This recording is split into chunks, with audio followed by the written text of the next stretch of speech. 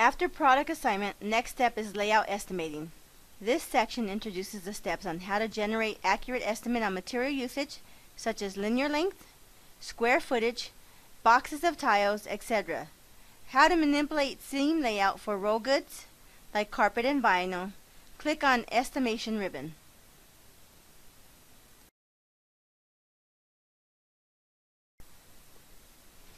In the pop-up window, it shows a list of items that are currently assigned to the rooms of this project.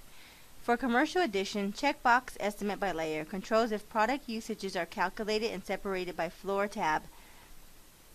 Click on OK button. The program automatically calculates all product usages and does the seam layout. On the right main diagram window, rooms with roll goods are laid out with seams.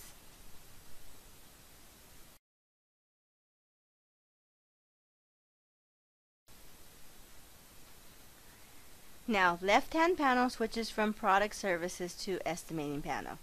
Under the estimating panel, usage quantities, linear footage, and number of tile counts, waste ratios, etc. are listed. Drag on the right edge of the panel to adjust its size.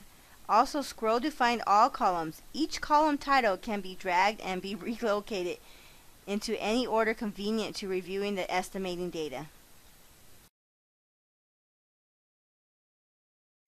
When clicking on any item on the list, rooms with that item assigned are highlighted in the diagram window. Also, at the same time, the lower panel below shows a list of room labels with this item being assigned. As a cross-reference, scroll to the panel to see estimating data on each room. Navigate through the list so as to review if they match with the project spec. Under Estimation ribbon, commands are grouped by functional tabs.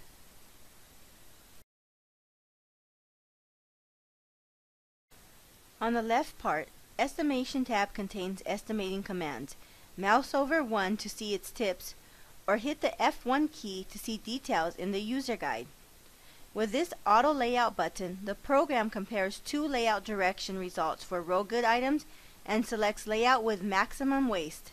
At project level, click horizontal layout button to layout seam in horizontal direction or use the vertical button for vertical layout direction for roll goods.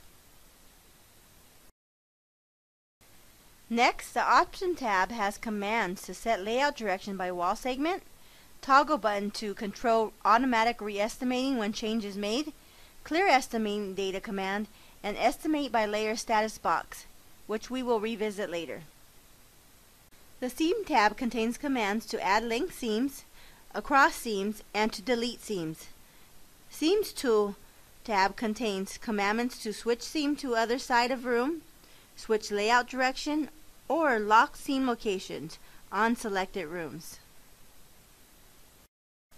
Under the Dividing and Stairway tab, dividing commands are advanced too for dividing an open area into different regions that as seams can be manipulated independently.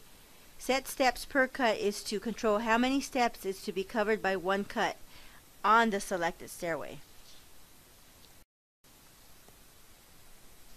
Zoom and View tabs are similar to the takeoff ribbon. Provided under View option pull-down, one can control estimating related views, such as cut sheet, cut label, size display, cut overlay on diagram, and you can also show the product schedule with a diagram.